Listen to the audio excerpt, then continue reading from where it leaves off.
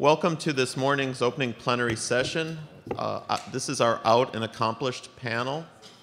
And uh, it is my distinct honor to uh, kick things off and to introduce our moderator. Uh, the Honorable Dot Harris is the director of the Department of Energy's Office of Economic Impact and Diversity. Um, she leads the Department of Energy's efforts to ensure minorities and historically underrepresented communities are afforded the opportunity to participate fully in the department's energy programs. Ms. Harris oversees a corporate funding strategy for minority institutions, develops the current and future department workforce, and works closely to develop small business contract opportunities at the department and protect the civil rights of departmental employees. I would like to uh, turn the microphone over to um, Dot and let her uh, speak with you before she introduces the panel.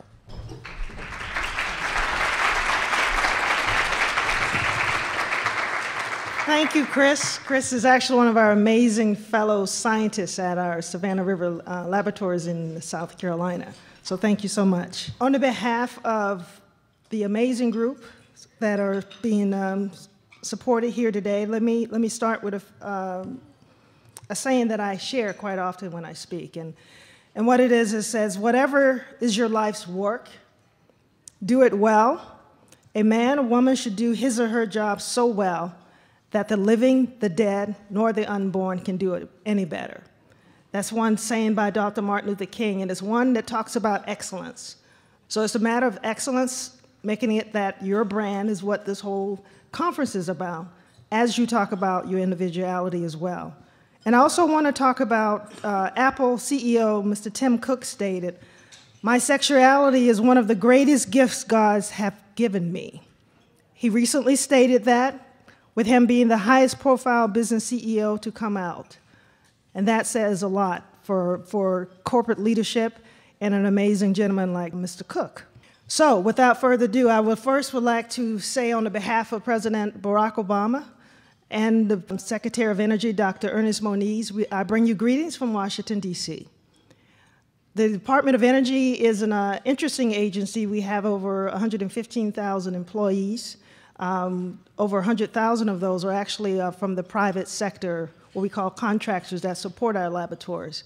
We have 17 national labs around the country, which I think is probably one of the best kept secrets.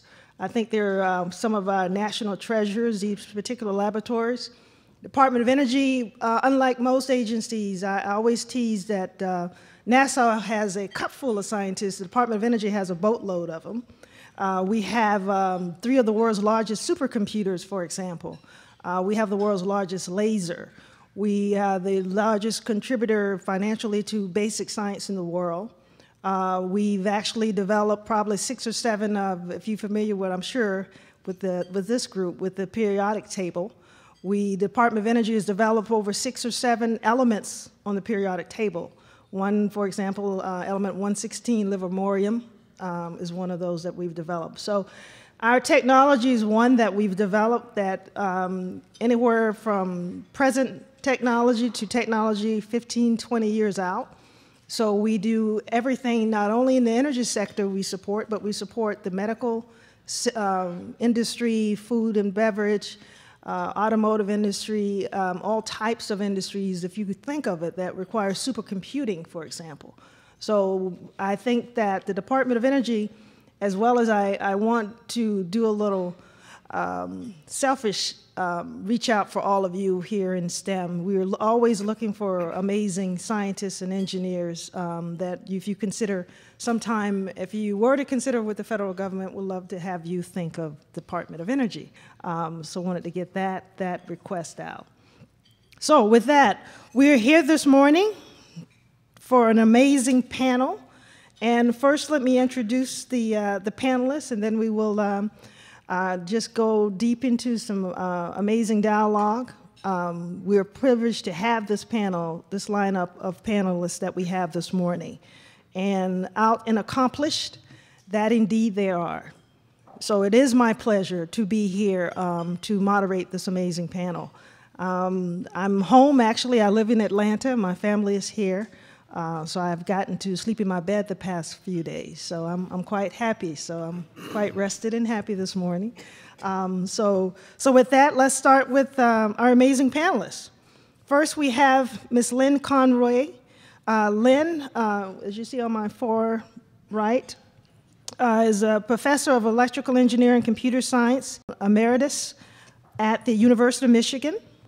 Lynn made foundational contributions to computer architect at IBM during the 1960s. Sadly, IBM fired her in 1968 when they learned she was transitioning. Quietly coming out in 1999, Lynn went on to create a widely read trans um, advocacy website which has given hope and encouragement to transgender people all around the world. Lynn is a fellow of the Institute of Electrical and Electronics Engineers, IEEE, a fellow of the Computer History Museum, and holds two honorary doctorates, and it is a member and also a member of the National Academy of Engineering. Please welcome Ms. Lynn Conway.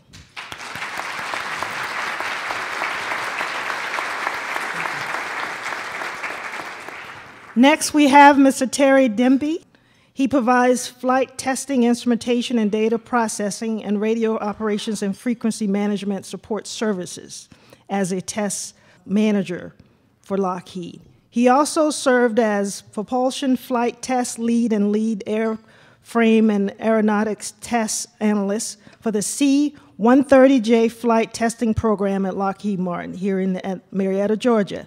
He began his professional career as a project engineer supporting a variety of engine test programs at the Naval Air Propulsion Center in Trenton, New Jersey. He is a lifetime member of the Society of Flight Test Engineers. So please welcome Mr. Terry Denby.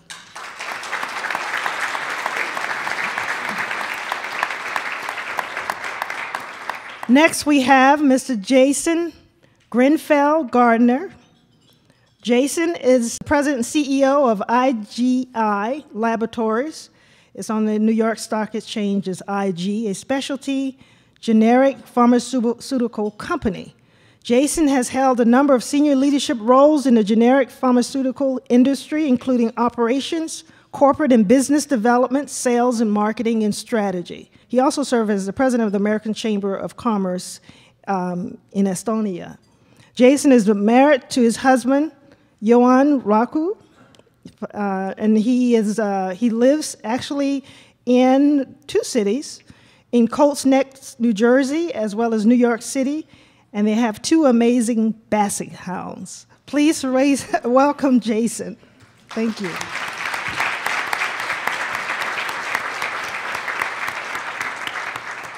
And lastly but not least, we have Ms. Donna Riley.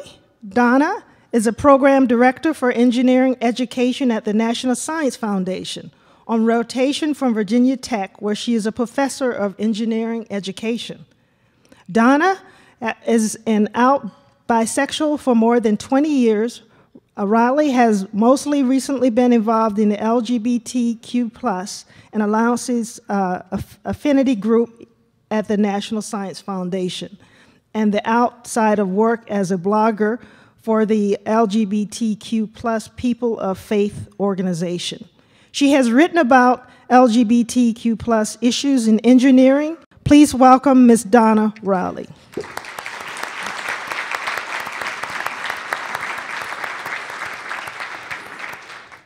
morning. Good morning. Yeah. Being out in the workplace is a complex personal decision. Research shows two primary reasons for not disclosing LGBT identity a preference to keep personal and professional identities separate, and the fear of potential repercussions. And that's, I'm sure quite a few have, are quite familiar with that, that, that scenario. So, can you share with us a little about your journey and why you feel this is important? We'll start with you, Lynn. Well, in my case, um, I spent many decades in stealth after being fired from IBM and restarting my career. And so most of my experience was coming up through the system, sharing with uh, many women back in those days just the challenges that women face getting into engineering. So I went through all that, kind of keeping my past uh, on the side. But late in, in, in my career, a lot of the early work I'd done started to be talked about. It turned out to have some influence. And, and so I realized that people were tracking down where that came from. So I kind of quietly came out on the internet among my colleagues, just kind of talking about that early work. And over a period of time, uh, gradually um, became more out, did some advocacy work. But, um, but actually, it wasn't until just a couple of years ago that I really realized that I was still kind of covering, and I was hesitating, kind of a recovering shy person, Right. you know, and, um, and, uh, and only in the last few years I've kind of got my voice. So, so I think there's a story in that about um, how we're all a product of our times, and and um, and we all have to find our own way and our own time to uncover and free ourselves. Yes, absolutely. Thank you. Terry? I want to date myself in a little bit of this, so be careful, young people. Um, I never really came out in the classic sense. Uh, when I first started working, um, Jimmy Carter was still the president of the United States. And following his defeat in 1980, Ronald Reagan took over, and then the AIDS crisis hit. And it was a very scary time back in those days. Um, if you if you were HIV infected, you could have lost your job. You, if you could, you can get health benefits. And though I was never stricken with the illness, that many of my friends were, and, I lost a lot of friends, but there was always a, you got to keep this cool. I got a good job. I was working for the government on my first job with the United States Navy. I then uh, joined, uh, what was that at the time, Grumman Aircraft uh, as a flight test propulsion engineer. And you just, you went with the flow in those days.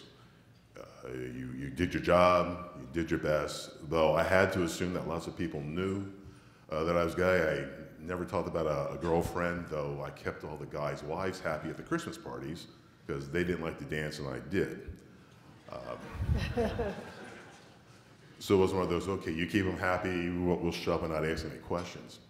Um, when I moved to Texas, which was a cultural shock in of itself, um, uh, I was working on the F-16 program. Uh, we were doing a, a, very large engine update for what we call the Block 50 Improvement Program.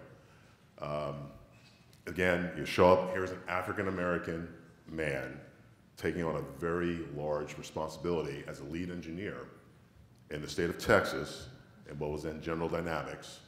And again, there was a, you know, you got the burden of, you know, being an African American and a, and a technical professional um, where everybody's looking at you, and one false mistake, and it's not just you taking a hit, all African males and all African American people in the profession take, take the mistake. So again, you're playing it cool, you're going with the flow, but again, you kind of knew that people thought they knew because you heard all the whispers in the background. Um, but, you know, you didn't say anything. I had a security clearance, right now I have a top secret clearance with the DOD you have, you have program accesses, and you were still the fear that you could lose all this if you said the wrong thing to the wrong person. Went to Georgia. Lovely time here in Marietta, Georgia, on the C-130J program. All kinds of people from all across the country. We all had a great time. I knew people's wives and their kids by name, and yet there was still a don't ask, don't tell before there was ever a don't ask, don't tell when I went to California, I was working on the F-22 program for a couple of years, and I became the test manager in the, Palmdale where the Skunk Works is located. And everything was okay for a while, and then I took the interesting step of um, competing in a leather contest and won.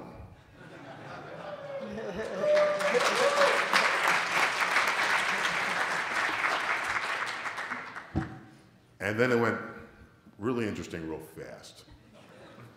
Um, I was not really that familiar with some of the social media taking place at the time. I actually, I won the local contest and went on to win first runner-up in the LA contest. And I got a call from Fort Worth, that was the headquarters for aeronautics, and a friend of mine saying,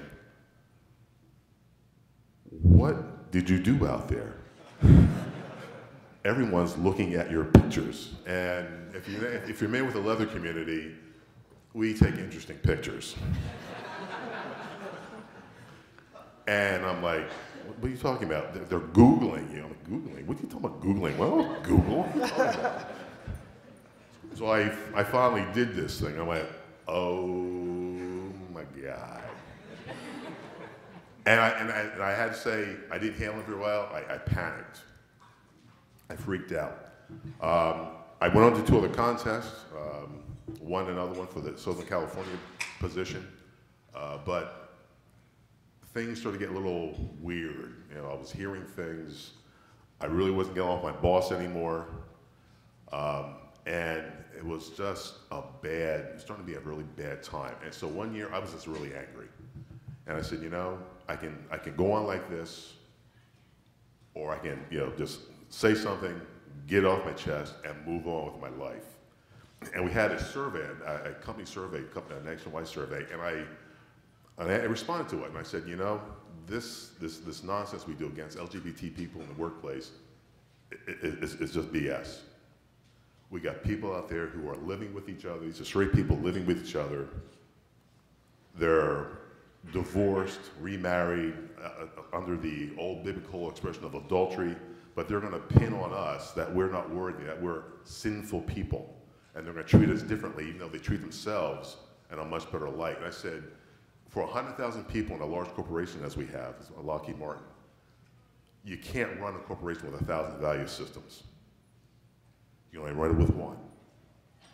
And if this company is standing up and saying that everybody is valued, then we get to talk the talk and walk the walk. That year, president of our aeronautics group went on a nationwide Aerovision and told us it was okay to be who you were. First time that anybody in Lockheed or anything like that at that level. And at that point I said, okay, if this guy's got the, got the guts as a straight man running this, this company to, to put us out there on the line and say, I'm with you, I can't just hide anymore. And it was not long after that um, that we established the first Pride organization at Palmdale. I was the first president. And I'm very proud that we did that because it showed folks that we were there, we were in high technology, we were excelling at our jobs, and they could not hold that against us any longer. Now, some people still do. Some people still don't want to get it, but they can't ignore us anymore. So I didn't run around with a rainbow flag behind my back saying, hey, I'm here, but I'm here. And that's all that counts. Wow, Terry. Um, sounds like you fell out. Um, I fell over. um, you know, for me, what's fascinating is, you know, I've made a lot of, of career transitions and moved um, in a lot of different places. And each one of those uh, career transitions, um, you get faced with that question over again. You kind of have to come out once more, once more to a new group of people, once more to, and every time you're faced with that sort of a little bit of dread and oh, here we go again. And um, so I'll tell you a bit of that story. After university, and I was out in university, I went to university in Scotland, um, although I'm originally from the US. Um, and I moved from, a, from Scotland to Estonia in uh, the Baltic states, um, former Soviet country. Uh, not terribly progressive at the time, perhaps in a human rights perspective, but on the right trajectory. Uh, and it was actually a wonderful experience because I met my husband, Johan, who is French, in Estonian lessons. Um, and Estonian is our secret language of love. You didn't know that that could be possible for a swamp language of a million people, but it is. Um, and then we moved from Estonia to Poland, and anyone who's in sort of a relationship with, um, you know, a binational relationship, you know that that starts to get really complex as you cross borders and you start trying to move. Um, but actually moving to a very Catholic country like Poland, it was relatively easy. And Johan was technically registered as my concubine if my Polish translation was correct. Not sure. um, but he had a card. Uh, concubine? it did.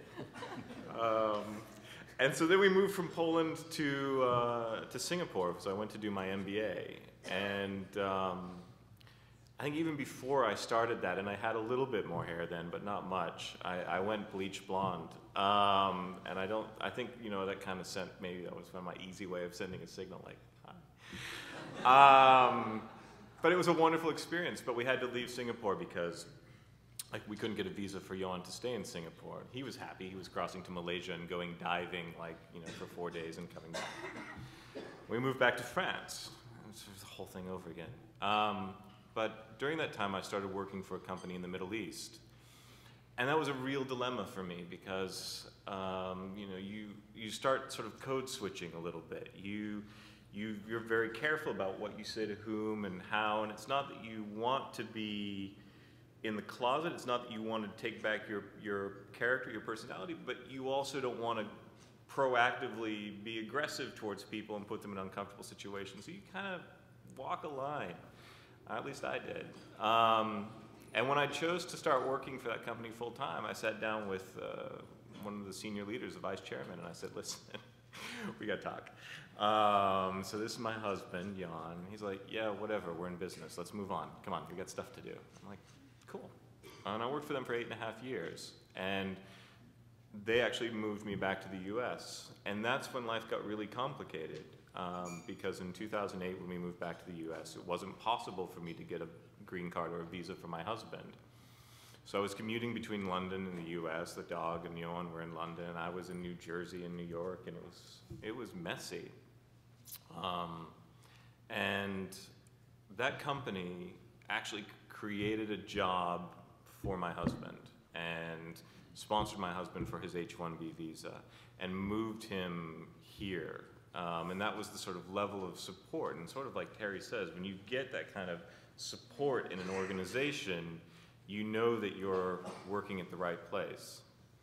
Uh, and so when I made the change now to the role that I have uh, running IGI, it was really difficult for me because we still hadn't had DOMA overturned. My husband was still here on an H-1B visa. These people had been really good to me.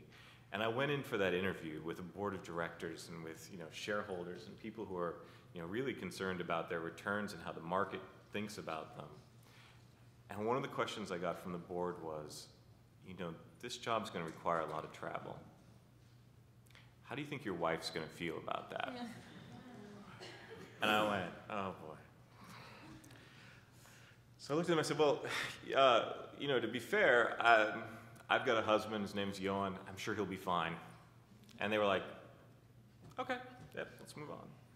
Uh, but it's that, it's that thing that, you know, that there's always that, that, that door you got to open for each one of those things. And what I found for myself is that the more that I'm comfortable in my own place, the more that I'm just who I am, the easier for me it is to, to actually do what I need to get done. And the more authentic that I can be about that with my own team, I mean, we have 100 people at IGI, we're constantly recruiting, and diversity is such an important part of what we do. Um, I owe it to those people as well to, to make it a comfortable place for everybody. Um, if I can, if I can do that uh, through that experience, then, then that's something that I, that I really enjoy. So that's been the journey so far. So I came out in the early 90s, and this was an era where politically, first of all, you had ACT UP with these stickers everywhere saying silence equals death. You had a, a queer movement that was all about visibility and all about claiming who we were as a political move because you know there was Melissa Etheridge who kind of everybody knew about she was hinting about being a lesbian in her songs but she wasn't out Ellen, it was before Ellen, right? And so there was there was nobody, and there was a politics around what if we out what would happen if we outed all the LGB, there wasn't really, maybe not even be LG celebrities at that time, let's be honest. Um, and what would happen if we outed people politically, right? And there, and there came to be this, what about people that are in power? What about people on the Hill, right? What if people knew?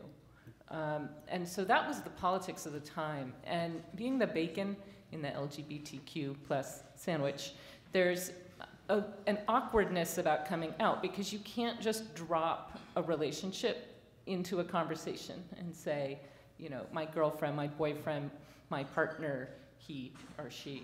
And because of that, you have to pick a label. You have to say, I am, and then say a word that has the word sex in it, which is very awkward for people to hear. So um, I, at that time, there was, there was Holly Near. Who know Holly Near? Anybody? Yeah, not many people. I didn't think so. So there, so there was this woman named Holly Near who was part of the women's music scene um, in the 70s and 80s. And she had a politics of saying, I'm Holly. So she wouldn't pick a label. And so she was like a role model for me at a point. And I was like, oh, I'll just be Donna. That'll be great. Then I don't have to say anything. And it seemed like I could just have no label. And that lasted about three months because what ended up happening for me was um, I grew up Presbyterian, and the Presbyterian Church had this amazing report in 1991 on human sexuality.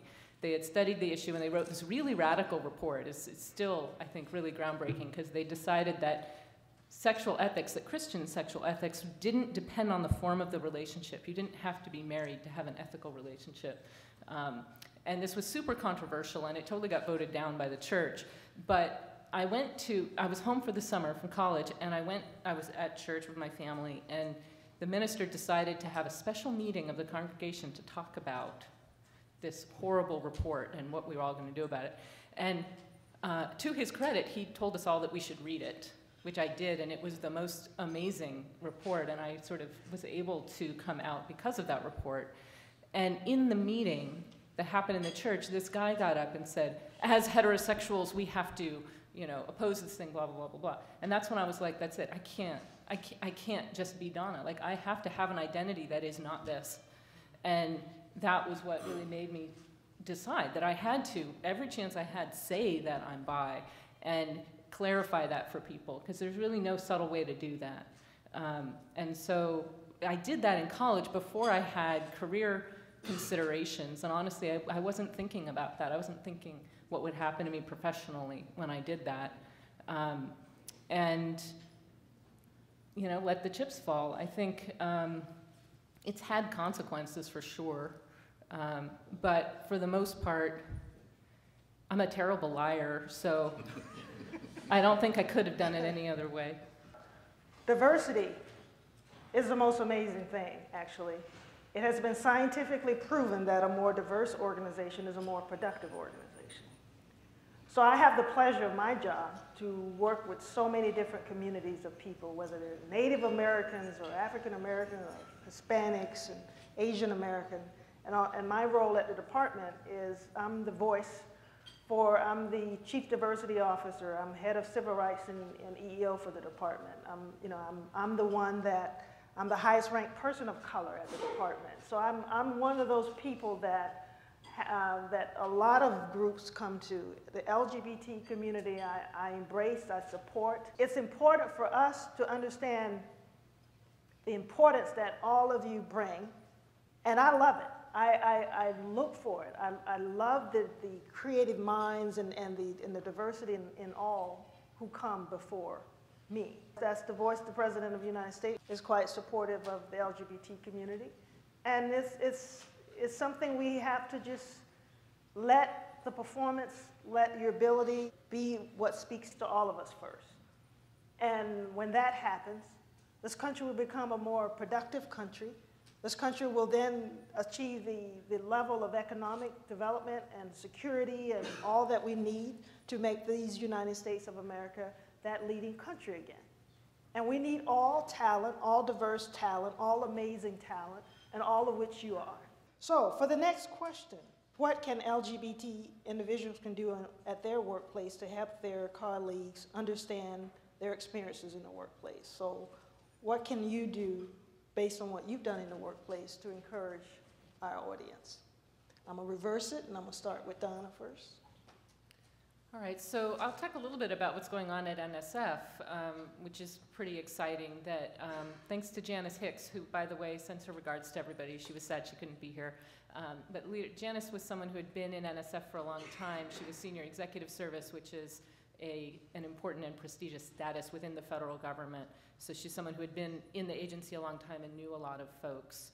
And she really founded the LGBT plus uh, group at NSF. And um, we started meeting socially, um, and it was a really important thing just to create that space where people could come and be together and recognize each other. I think that was the most important first step. And we did it at a time, I think, because of the Obama administration. I think it was at a time when um, it was relatively safe to do so. The, the timing of it, when I think about the CIA doing this in 1983, I don't know how they did that. Um, I really don't. But, um, but it was a fairly safe thing to do at NSF when Janice started the group. Um, and there's a, we have a, a, distribution list, we have a lot of allies involved, and we have um, just a, an exciting kind of group of folks who like to hang out and do stuff. And the thing that was great was our Office of Diversity and Inclusion has been working with us, even though we're not a, a properly recognized employee group. Um, they have a, there's a really prominent um, display case at one of the entrances of NSF where um, whatever the diversity month is, if it's Black History Month, Women's History Month, they dedicate the display to the diversity theme, and June was available. So they said, we said, we proposed a pride window. They said, great. And so they were a little afraid. It was really fun to work with them because they were sort of like, what are you going to do? are you going to have go go boys in there? right? Out and accomplished, I have to say. Um, so that's what I was. But, um, but we, you know, we put some feather boas in there, the rainbow, you know, we had some, and, and we also had a serious point to make um, about some of the federal employees who really did have a difficult time um, as federal scientists in the 50s. Um, and so we, we, had a bit of an LGBT history um, part to it, and we celebrated our um, out and accomplished folks that are NSF funded. So we've been doing, including Lynn, um, and we've been sort of doing that as a, um, as a way to sort of create visibility. When the Alan Turing film came out, we hosted an event for that. And that's been what we've been doing so far. And it's, um, in some ways, it's a small thing, right? It's not that hard to have a lunch every month where people can come and talk to each other, but it really does make all the difference because you create community. Um, and then that creates the space to plot and scheme some other things. As an organization, uh, you know, my job is to create a safe environment that is welcoming to everyone to work. And that means setting some standards, and that means having some principles and talking about them and setting expectations for people about what is acceptable and what is not in terms of treatment of others in the workplace. You know, if you walk around our facilities, you'll see a series of posters that might seem a bit glib, but they all say work hard and be nice to people. And that's the fundamental principle of you know, how we run our organization. And as you change that culture, as you change a culture of something that's been sort of a, an older manufacturing based culture into something that's more science based, um, and as you try to drive that diversity, you do a lot of education, right? And you do a lot of sensitization. You try to bring people along with you. Uh, you know, I'll tell you, we had uh, just a sort of corporate training program to start talking about people um, in diversity in the workplace.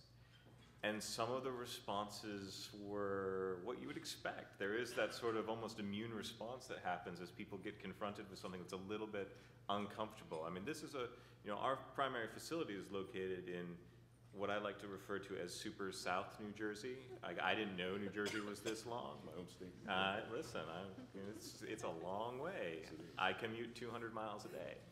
Um, and you know, part of that that process was talking about uh, uh, the LGBT community, but in particularly uh, the transgender community and what that meant uh, for the workplace. And you know, this is 100 people working in a manufacturing site. Um, that was not something that they had ever thought about or you know, really engaged with. Um, and even if that was an uncomfortable process for the organization, it was a helpful one. And so, as I say, you know, part of that job is starting to take people uh, along that, that journey. The second part of this for me is that uh, I think that as you think about diversity, and particularly in, in STEM, and you think about it in pharmaceuticals, there aren't a lot of great on ramps for people into this um, part of industry that um, draws in diversity. It's a part of, if you think about where people go to do recruitment for pharmaceuticals, for scientists, for analytical chemists, for all of these things, it's a very non diverse group of people. It's a very uh, white, straight male environment. And trying to kind of drive that means you have to take your human resource assets and say, all right, we got to proactively go find the people we want um, to drive a broader organization because it's enough to just kind of talk about diversity and you know have that part of the website, but it's something else to go take your corporate assets and go find those team members you need to drive the di- diversity agenda. Um, if you believe that that's what drives value for an organization, and we do. So that's what we're trying to do. What I found is, if you're going to be a STEM professional, the, the actually the best thing you can do is simply be the best STEM professional you can be, and excel at what you do.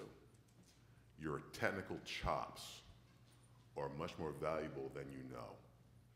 If you're known from being that the, the best biologist in the lab or the best engineer on the project, you establish a, a credibility that they cannot take away from you, no matter what they think of you. Um, I, uh, just about a week or so ago, one my, my new boss said to me, you know, I was talking to so-and-so, and she said, you were the best flight test analyst they ever had on that project. And I'm like, oh, well, well, thank you very much. I, I, I appreciate that. And other people said the same thing, and I'm like, you know, this is, this is good. Um, when I became the PRI president, I would never have thought that I would have had my picture taken and had it posted all over the company uh, websites as, you know, this is Terry Denby and look who he is. Uh, but I didn't have to say anything. Um, and, and, those, and those things build on your technical um, cr credentials. Uh, going to the, to the Pride Parade, uh, we did a, um, what we call a connect and engage event. You know, we, we just had a table for the, for the organization. I stood behind it. I didn't have to really say anything. I, was just, I just had to be there as the flight test manager who works with some very interesting individuals, to say the least. If you know anything about test pilots, um, they're, they're a very interesting culture. But you, but when you when you establish yourself as a true professional, a true technical professional, you can take that and, and leverage that into the social responsibilities and duties of your organization. As an ELCO, I mean, Weston would call us as, as managers, I have a duty and responsibility to take care of my people, the people who, who I employ, within the confines of the rules and regulations of the corporation and to ensure that I help them be the best that they can be. And I, I think I get a pretty good reputation about doing that. A lot of people don't ask me lots of questions, but they know that I'm there. My door is open. They see me. And, they, and they can come to me and ask a question if they have a question or have some inquiries. It's built on being the best technical professional that you can be. And that's something that no one can take away from you. You know, in my own case, uh, in following on your lead, I think uh, maybe uh, one observation I have, like about what I've been doing over the years, um, is just being a being an engineer, building things, exploring, uh, figuring out what is possible to do, and when you get in a corner, you know how can you find a way out? When you come to a river, you need to cross. You know, you think about how to do that. What stepping stones can you put out there to get across that river? And um, in, in the case of the trans issues and trans, trans emergence during the late 90s and on through the, uh, the 2000s, a lot of that turns out to have been closely coupled with the emergent um, uh, cyberspace uh, communications, collaboration, technology, and so forth. Um, the, the numbers, uh, number of trans people around the world, uh, at the time was thought to be incredibly tiny. You know, the, the psychiatric community typically referred to uh, trans people as being sort of one in 10,000 or one in 30,000 people, that sort of thing.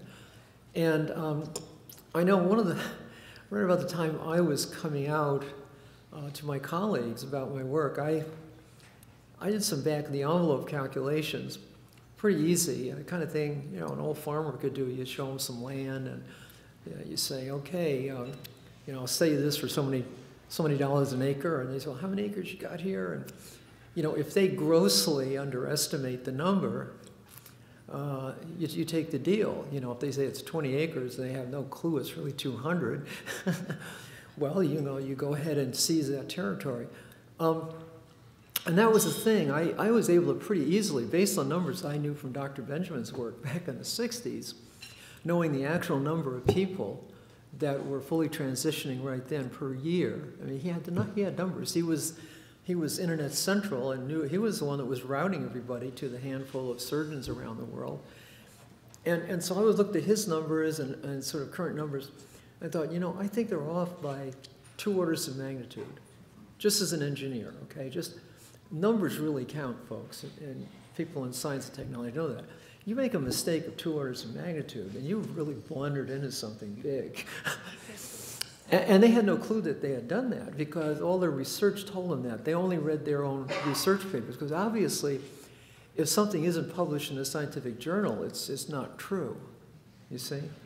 You know, we all know about the problem with scientific journals. So knowing that, and then having the trans community come under attack by the psychiatric community during the 2000s, especially as they were ramping up to get transsexualism, transgenderism permanently encoded in the DSM-5 as a, a, pretty serious mental illness, a lot of us got together knowing that we're two orders of magnitude more of us than they realized. We started, you know, kind of reaching out, finding each other, and mounting a frontal assault against the uh, psychiatric community. Now, the one thing about this, uh, we're leaving tracks. Everyone's leaving tracks. And, and, and, you know, you speak of Google and finding out what you're doing. Well, now, you know, first thing you do, you need somebody, look at their Google. and voila, you know, you find out so much. Who you are is now like in the ether around you as you wander around, and other people will quickly know more than you might be thinking about whether you're someone they'd like to go have a drink with or someone they'd like to go camping with, or whether you'd be someone that they'd actually be willing to go into combat with. You see, as, as creators of this stuff, we get to shape the ideology of the technologies that are emerging. We, we get to, to, to channel some of these forces in directions that are more productive uh, more mutually supportive. Uh, you know, it's so curious that the creators of the Titstare app uh, weren't aware. I mean, how could they not be aware that people would notice and that forever their lives would carry forward what they had done the, and, and clueless to the meanness of it. And yet, a powerful, vibrant civilization uh, always finds ways to have cross currents of all different sorts of folks wandering through and being accepted, uh, being engaged. And people can tell that, okay, you're from this clan, and, and so when we talk to you, we, we may act a little differently because we want to be able to communicate with you. We want to be able to have you on our team, and vice versa. So I think, I think the experience especially the experience of the trans community has been really interesting because since the emergence has been largely modulated by the technology of the emerging social age, we sort of found ourselves out there at the point of the spear, um, um, just kind of doing stuff in order to survive, in order to uh, you know, attack ambushes, for example. That's a great tactic, by the way. So the psychiatric community never really recovered, actually, from the, the assault they were making on the trans community. The science and engineering and mathematics community, along with the artistic, creative communities, uh, can, we can all empower ourselves to really create the kind of future that we'd all like to live in. And we can have a lot of fun doing that. And, and so, beyond just the corporations we work for and the kind of jobs we're going to have, to the extent that we all stay connected with that, um, as a community, we'll see all kinds of openings for things we can do to further uh, diversity and inclusion. Thank you.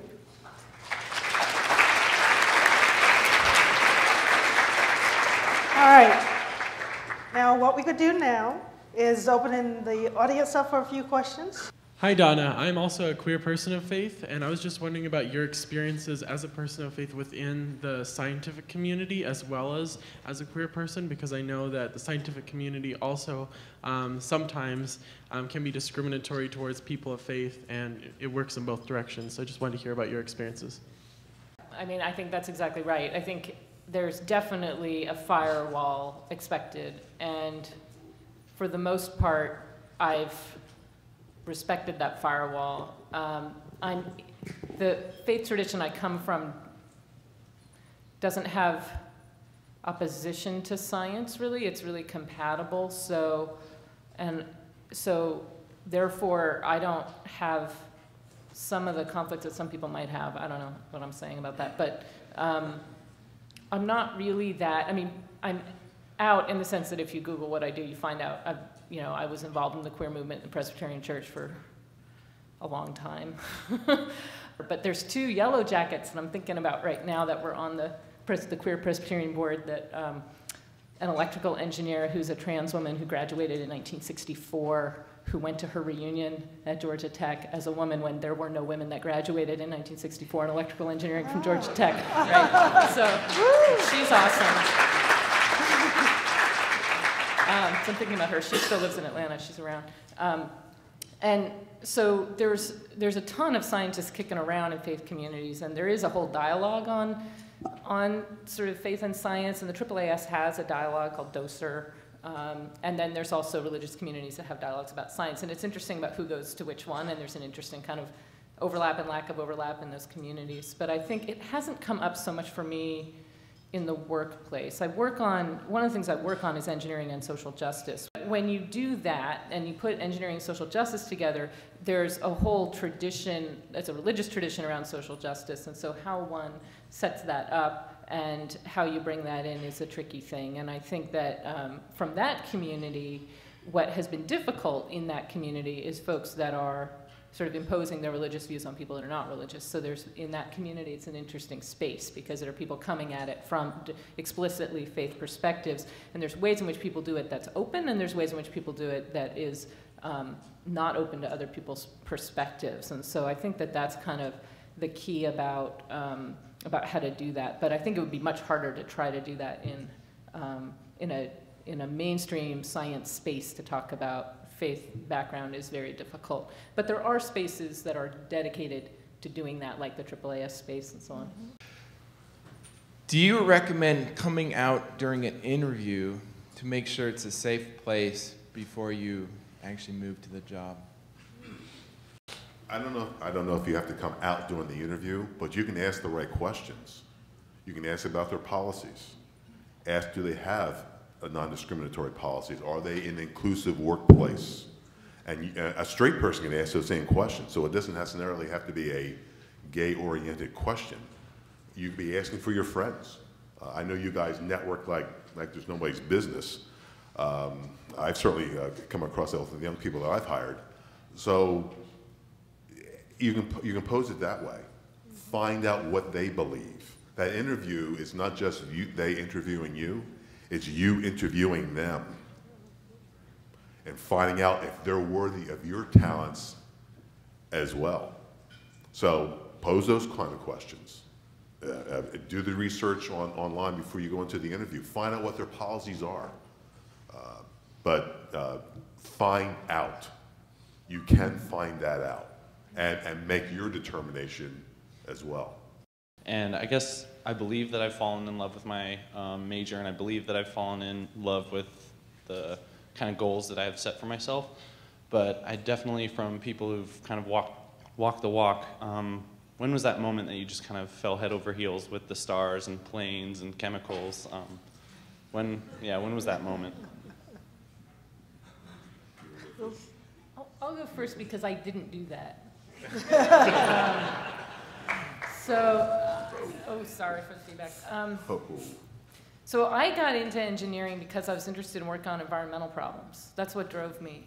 And so, and engineering, no one really told me about engineering's kind of political sensibilities.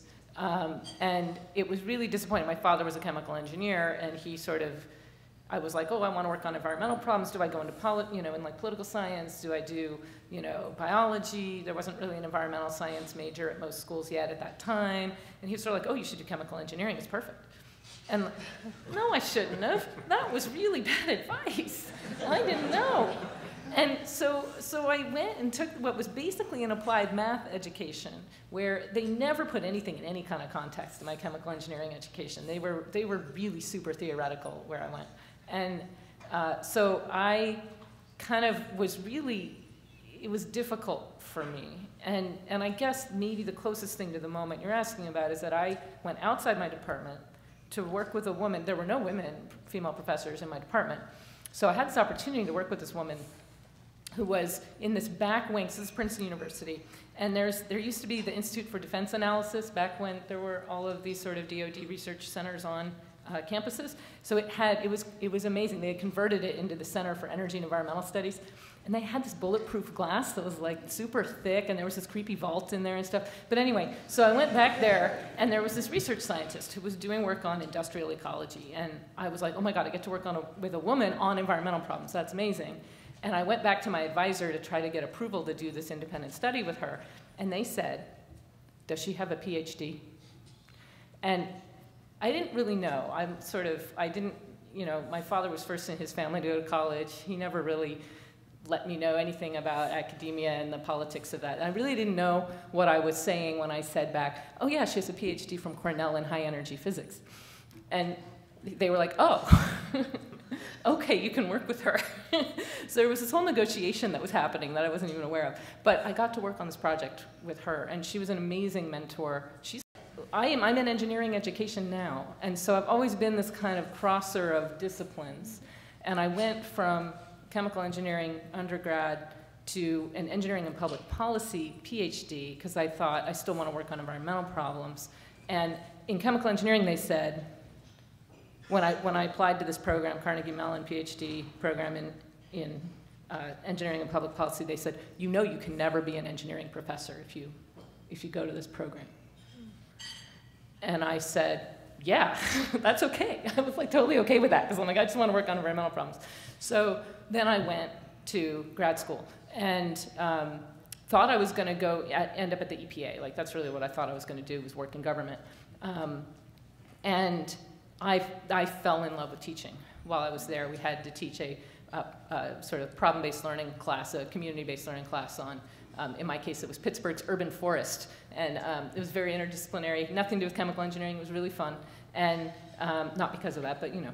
And, and so then I, I got curious about why my education at Princeton had been so, made me feel so much like I didn't know anything. I was so disempowered in those classes. The professor would come in and write these like 30 year old crispy notes that were like yellowed, put that on the board, and we wrote what was on the board in our notes, and we figured it all out later. We never had a conversation in class.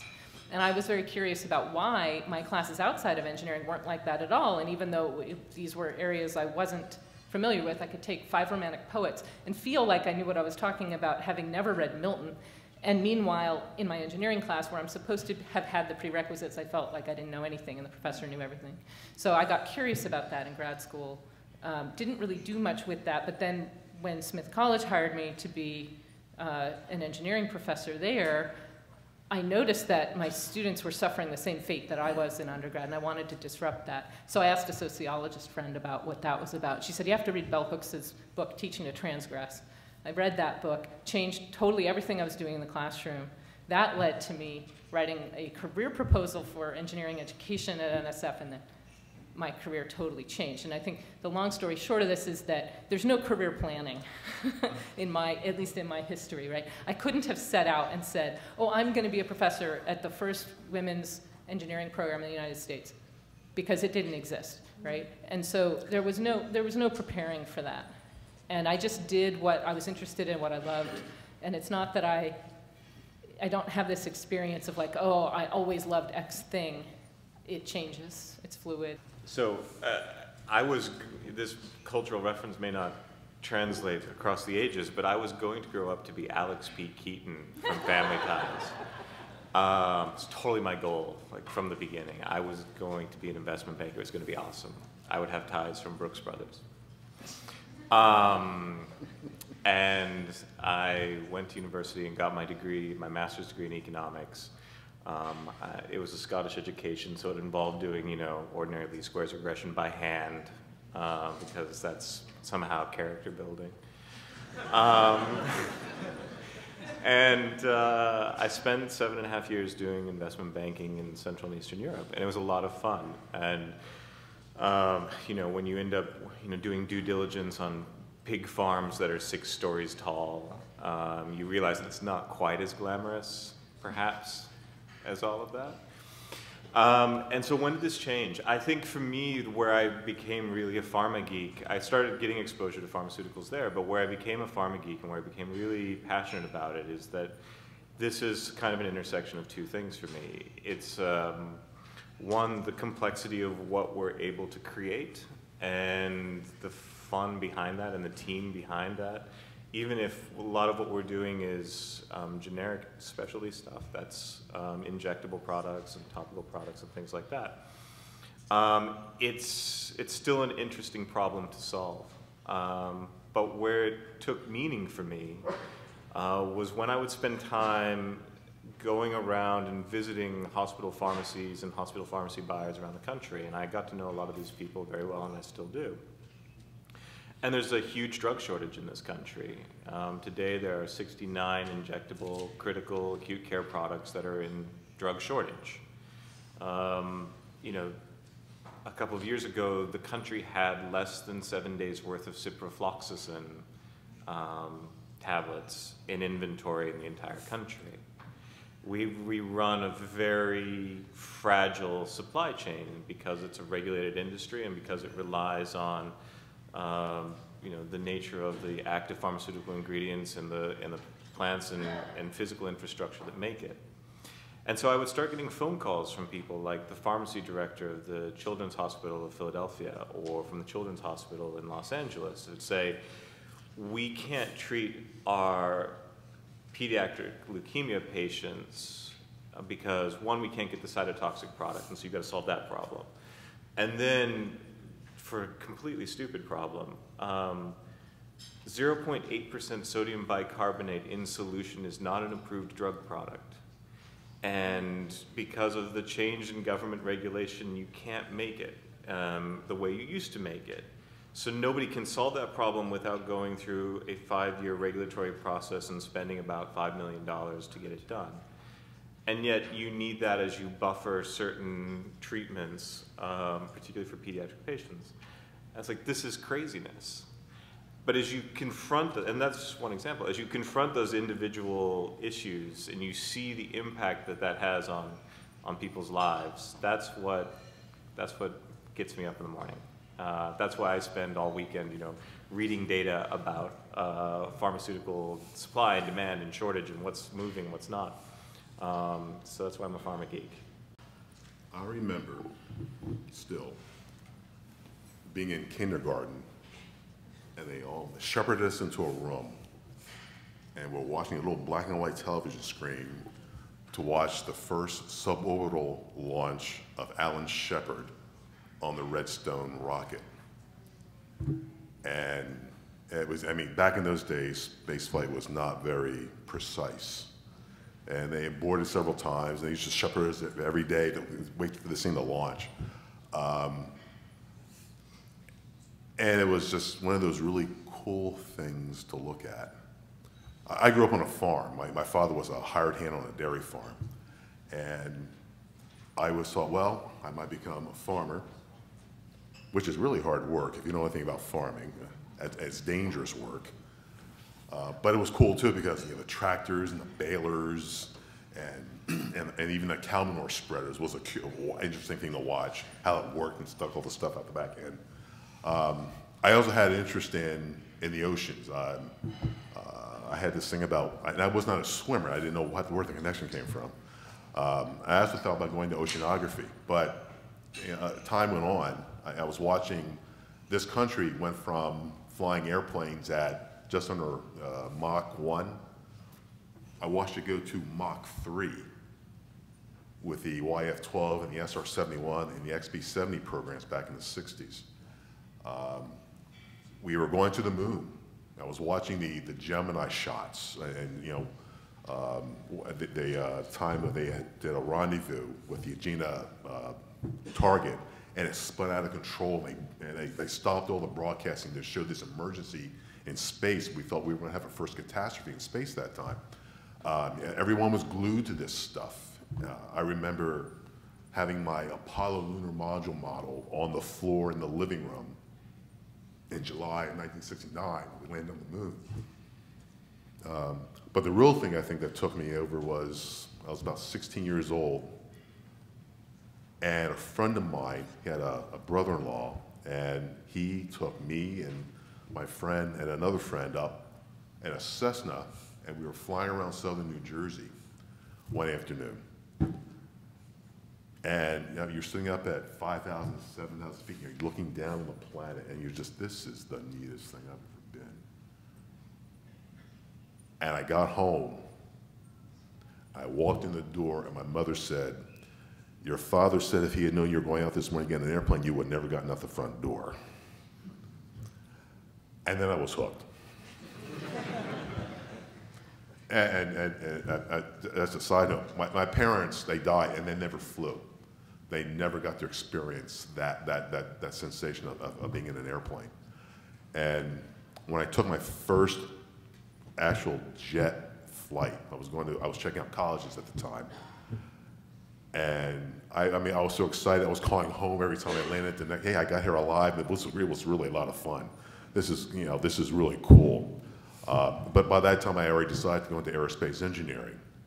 And it's been that way ever since. I, I think that the achievement of flight is one of man's greatest accomplishments. It's, uh, to be a part of that and to have been a part of all the stuff that I saw when I was a kid, to what we're doing now, what we're going to go do. We're going to go to Mars. We're, we're going to go to the, we're going, we've gone out beyond the, the solar system with Voyager. It, it, this is, it's an amazing science. It's just an amazing engineering feat. And I just love it to death. I just don't know how else to say it. You know, I can't help but think, uh, as, as we share our stories, you can see this connectivity across the stories. It's really amazing. My father was a, a research engineer, a chemical research engineer, and he ended up during World War II uh, being the chief engineer of the, of the U.S.'s synthetic rubber program. I remember as a very young child going out to a flight line of B-17s and, and uh, going inside one and having my father show me the rubber that uh, was in the wires and the tires and the de-icing boots and, and in some of the things the pilots were wearing. And, um, and of course, those things were going to go off and they were going to kill Germans. Um, so you see, that, that's the kind of thing that affects you in life. Um, it was a very different time, a very frightening time, actually, especially for children. And, but my father was a research engineer. My mother, speaking of kindergarten, was a kindergarten teacher. Now think of the combination. Chemistry sets, and then all kinds of junk that my mother got from all the local lumber yards and all over the place back before there were regulations on what you could take into schools to bring all this stuff into her classroom so kids could make things. But I became fascinated with astronomy, and of course, that immediately led into um, mathematics and physics. There's something about that process that that I became sensitized to when I was when I was young, and um, anyway, uh, that led along to where I ended up uh, going to MIT and, of course, studying physics. So to make a long story short, what I really ended up doing after happening to uh, leave MIT in a, um, in a sort of period of, of, of extreme angst about my gender situation, I ended up starting back again at Columbia University right when they were getting into computing seriously with support from IBM. I ended up doing a independent study with a person, Herb Schorr, who was an adjunct professor from IBM. And I ended up taking a paper and becoming fascinated by, by M.V. Wilkes on how to build a self-compiling compiler in a little simple list processing language. And the idea of a self-compiling compiler, I guess to bring it up to date, it's sort of like the work at Michigan Tech, making a 3D printer that prints 3D printers. the idea of taking something and being, using it to, to evolve the next step. And then you just think, okay, there it is, exponentiation. And so at that point, my life went into computing, and I've kind of been exponentiating ever since. Awesome. Very good. Thank you. Well, listen.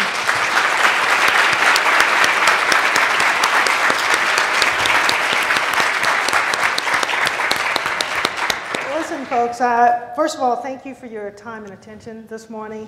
Thank, another round of applause for the panelists.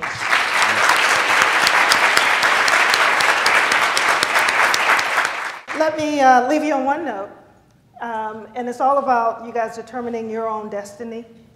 But it all begins with your imagination, because your imagination becomes your thoughts. Your thoughts then becomes your actions. Your actions then becomes your habits. Your habits turns into your character. And then whatever your character is becomes your destiny. So it's about the fact that you control your destiny. It is our pleasure and our privilege and our honor to have any of you in any of our institutions or organizations. So you go in and you have your own, I use the term executive presence. So when you walk into the room, with your background, your credentials, your education, your experience, that will speak for who you are. That will show who you are first and, for, and foremost before anything else. We all have obstacles that we face in the workplace. And I look to STEM professionals like yourself as just, the, just who you are. You're just amazing. Make excellence your brand as a professional, as a student, and it will speak first, and to me, everything else falls after that. So, on that, thank you so very much. Have a good day.